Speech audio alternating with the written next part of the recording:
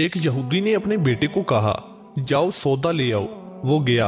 लड़का रास्ते से गुजर रहा था कि इसकी नज़र हजूर सल्लल्लाहु अलैहि वसल्लम पर पड़ी और हजूर सल्लल्लाहु अलैहि वसल्लम की नज़र भी इस लड़के पर पड़ी। वो वहीं बैठ गया और वहीं बैठा रह गया और देर हो गई। वो यहूदी कभी अंदर जाता, कभी बाहर आता कि लड़का कहाँ रह गया। आया नहीं अभी तक। सूरज गरूब हो गया। मगरब की नमाज़ हो गई। शाम को घर गया। बाप ने पूछा, अरे नादान इतनी ताखीर की? बाप ने बहुत गुस्से में कहा कि बड़ा नादान और पागल है। मैंने कहा था, जल्दी आना। तुम इतनी देर करके आए हो और तुम्हें सौदा लेने भेजा था। तुम खाली हाथ वापस आ गए हो। सौदा कहाँ है? बेटा बोला, सौदा तो मैं खरीद चुका हूँ। बाप, क्या पागल आदमी हो तुम? मैंने तुझे सौदा लेने के लिए भेजा था। सौदा तुम्हारे पास है नहीं और कहता है खरीद चुका हूँ। बेटा कहता है बाबा यकीन करें, सौदा खरीद आया हूँ। बाप बोला तो दिखाओ कहाँ है? बेटे ने कहा, काश तेरे पास वो आँख होती जो तुझे दिखाता, मेरा सौदा क्या है? मेरे बाबा, मैं तुम्हें क्या बताऊँ, मैं क्या सौदा खरीद लाया हूँ? बाप ने बोला, चल छोड़, रहने दे।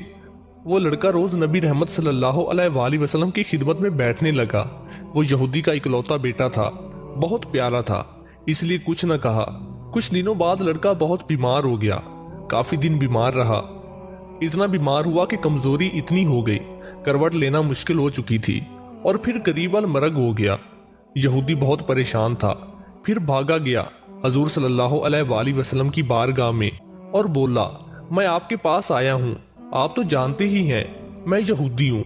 मुझे आपसे कोई इतफाक नहीं है। मगर मेरा लड़का आपको दिल दे चुका है और करीबल मरग है।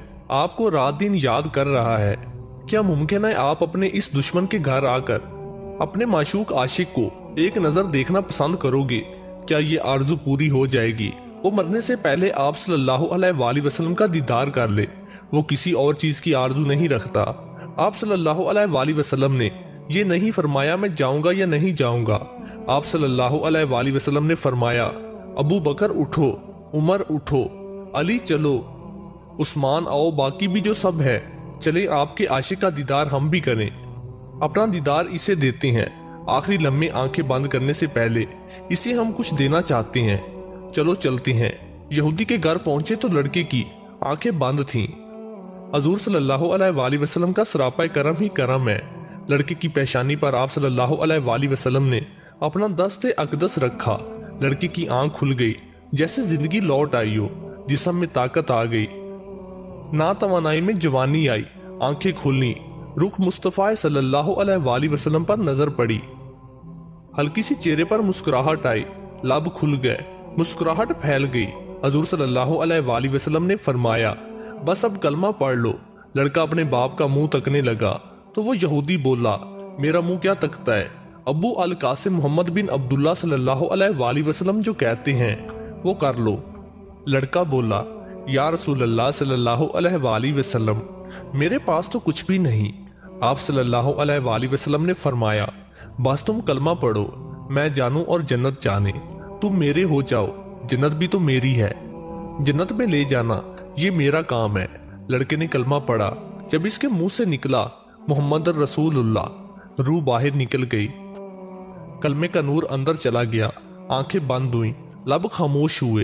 इस लड़के का बाप वो यहूदी बोला, मोहम्मद सल्लल्लाहु अलैहि वसल्लम, मैं और आप दोनों मुखालिफ हैं, इसलिए ये लड़का अब मेरा नहीं रहा। अब ये इस्लाम की मुकद्दस अमानत है।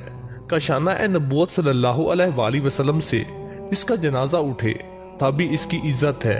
ले जाओ इसको। फिर आप सल्लल्लाहु अलैहि वसल्लम ने फरमाया, सदीक उठाओ, उमर उठाओ, उस्मान आगे बढ़ो, बिलाल आओ तो सही। अली, चलो, दो कंधा, सब उठाओ इसे। आका जब यहूदी के घर से निकले तो ये फरमाते जा रहे थे, इस अल्लाह का शुक्र है, जिसने मेरे सदके से इस बंदे को बख्श दिया। अल्लाह अकबर, क्या मुकाम होगा इस आशिक की मैयत का, जिसको अली, उस्मान, अबू बकर सदीक, उमर बिन खताब, बिलाल हबशी रज़ी अल्लाह तहो जैसे मशहूर शख्सियात कंधा देकर ले जा रही होंगे? और आगे आगे मुस्तफ़ा सल्लल्लाहु अलैहि वसल्लम होंगे। कबर तैयार हुई। कफन पहनाया गया। हजूर सल्लल्लाहु अलैहि वसल्लम कबर के अंदर तशरीफ़ ले गए। कबर में खड़े हुए और काफ़ी देर खड़े रहे और फिर अपने हाथों से इस आशिक की मैयत को अंदर उतारा। आप सल्लल्लाहु अलैहि वसल्लम कब्र के अंदर पंजों के बल चल रहे थे। मुकम्मल पाँव मुबारक नहीं रखे थे। काफ़ी देर के बाद आप सल्लल्लाहु अलैहि वसल्लम कब्र से बाहर आए। तो चेहरे पर थोड़ी जर्दी छाई हुई थी। थकन महसूस हुई। साहबा पूछते हैं, हजूर सल्लल्लाहु वसल्लम, ये क्या माजरा है? पहले तो ये बताइए कि आप सल्लल्लाहु अलैहि वसल्लम ने कब्र में पाँव मुबारक मुकम्मल क्यों नहीं रखा? आप सल्लल्लाहु अलैहि वसल्लम, पंजों के बाल क्यों चलते रहे? तो करीम आका सल्लल्लाहु अलैहि वसल्लम ने फरमाया, कबर के अंदर बेपनाह फरिश्ते आए हुए थे, इसलिए मुझे जहाँ जगह मिलती थी, मैं पंजा ही रखता था। पाँव रखने की जगह नहीं थी। मैं नहीं चाहता था कि किसी फरिश्ते के पाँव पर मेरा पाँव आ जाए। फिर साहबा ने पूछा, आप सल्लल्लाहु अलैहि वसल्लम, कब्र के अंदर क्यों गए? हमें कहते हम चले जाते। तो सुबहान अल्लाह खूबसूरत जवाब दिया कि मैंने इस लड़के को बोला था ना, तेरी कब्र को जन्नत बनाऊँगा। तो अब इसी कब्र को जन्नत बनाने कब्र के अंदर चला गया था। तो फिर हजूर सल्लल्लाहु अलैहि वसल्लम इतने थके हुए क्यों हैं? थका इसलिए हूँ कि फरिश्तों और हूरों इस आशिक के दीदार के लिए आ रहे थे और मेरे वजूद से लगकर गुजर रहे थे। इनकी वजह से थक गया हूँ।